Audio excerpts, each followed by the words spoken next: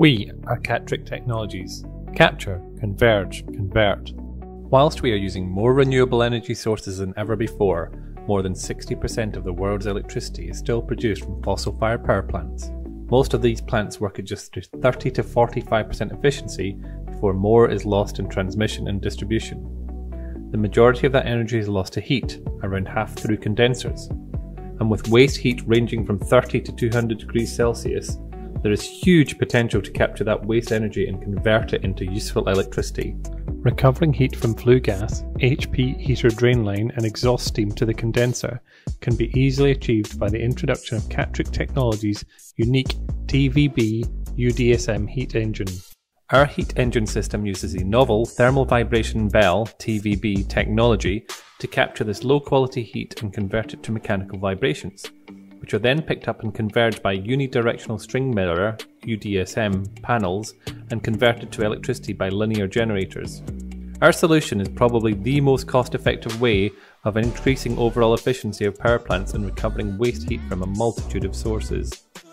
Our solution is massively flexible, ranging in size from a small 33 kilowatt unit to a sizable 5 megawatt system Plant heat loss can be captured at various spots and be converted back to power within the location. Our solution is eminently simple.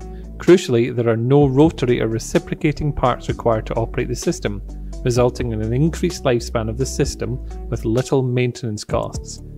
Making our solution even more flexible, there is no need for external power to operate the system. It can be run within atmospheric pressure.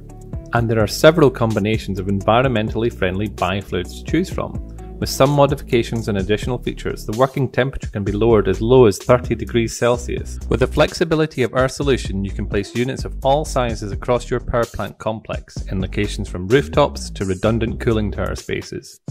As an example, a complete 14.25 megawatt system, comprising of one 250 kilowatt, four 1 megawatt, and two 5 megawatt units, could be held under one roof or across multiple locations depending on the major sources of heat loss and with low capital costs across the units and an easily adaptable and expandable solution, there is not a power plant where our energy conversion solution will not fit. Even our largest system takes up a footprint no bigger than an Olympic swimming pool. And talking of pools, our solution does not waste a drop of water in making electricity. Any water or steam used will be sent back to the condenser for reuse by the power plant. Capture, converge, and convert energy for a lower carbon future.